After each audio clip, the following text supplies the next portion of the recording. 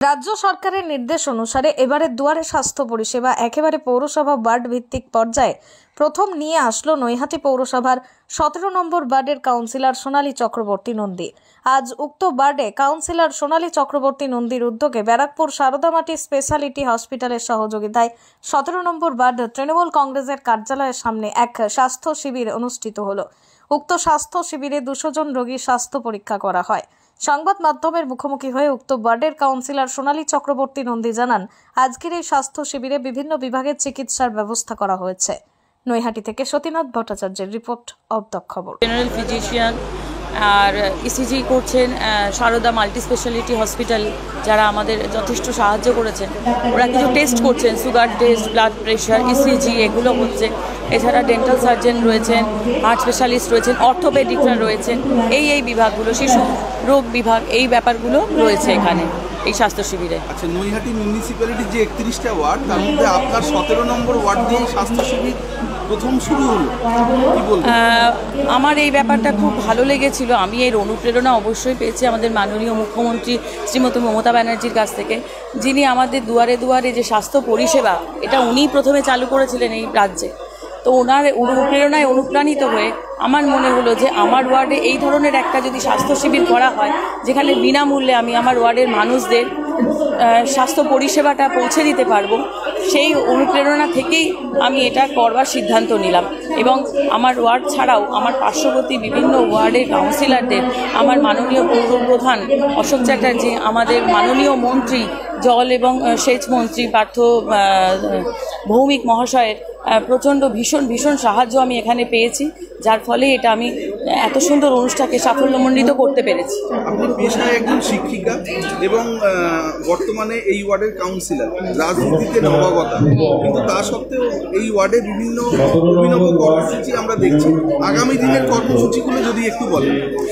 এক্ষুনি আগামী দিনের কর্মসূচি ওইভাবে তো ভাবিনি। তবে দেখুন আমি ওয়ার্ডে প্রথম যেহেতু আমার ওয়ার্ডে হরপ্রসাদ শাস্ত্রীর বাস ছিল আপনারা জানেন মহামহোপাধ্যায় হরপ্রসাদ ওখান থেকে আমি শুরু করেছিলাম।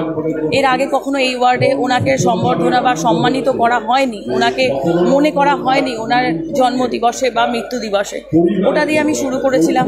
এরপরে আমি মাতৃভাষা দিবস অনুষ্ঠান করেছি আমার ওয়ার্ডে। এরপরে এই যে বিনামূল্যে স্বাস্থ্য শিবির যেটা, এটা করছি। ভবিষ্যতে আরও জনকল্যাণমূলক যে সমস্ত প্রকল্প আছে আমাদের মাননীয় মুখ্যমন্ত্রী, আমাদের মমতাদির সেগুলো থেকে অনুপ্রেরণা নিয়ে নিশ্চয়ই মানুষের জন্যই তো করব। আমি জনপ্রতিনিধি সুতরাং জনসাধারণের জন্যই এমন কিছু করব যেটা ওনাদের কাজে লাগে? কতজন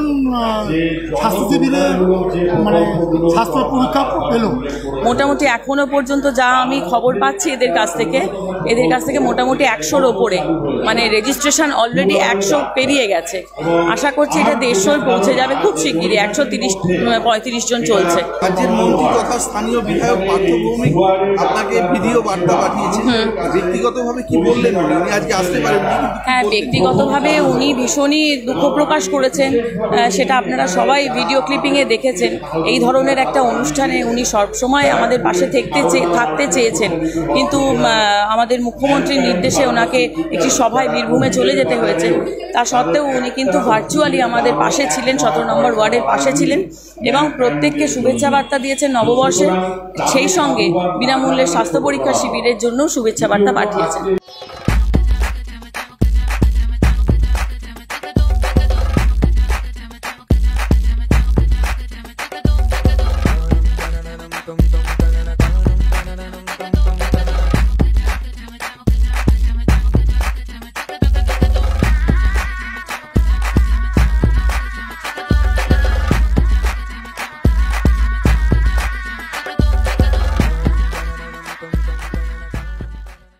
ফ্ল্যাট বুকিং চলছে। আজই যোগাযোগ করুন গীতা কনস্ট্রাকশন, বি দশ বাই দুশো উনপঞ্চাশ near central park Kalyani. Booking চলছে কল্যাণী বি টু বাই দুশো একুশ, বি টু বাই তিনশো বারো Kanchrapara Ghatak road, Satish Nandi road, Lok cinema, Chandmari road, Lichubagan, Siraj Mondal road, Tiktiki Bazar, Milannagar Aguripara Rajanibabu road, Nipen Sarkar road, RT school, Naihati ছ নম্বর gate, Bijoynagar, Bhatpara, Rupashree hall, Halisahar, Rajmahal housing estate. আজই phone করে বিস্তারিত জানুন Geeta construction six two eight nine zero six three five five seven nine eight three one four seven eight seven nine five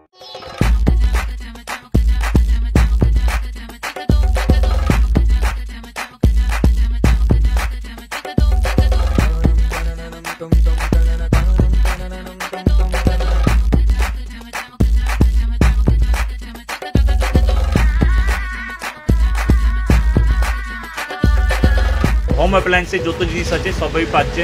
খুবই কমের মধ্যে এখন sixty percent of চলছে। নয়ারটি গৌরীপুর চোমাথা এটা পড়ছে কেসি লাইট হাউস আছে।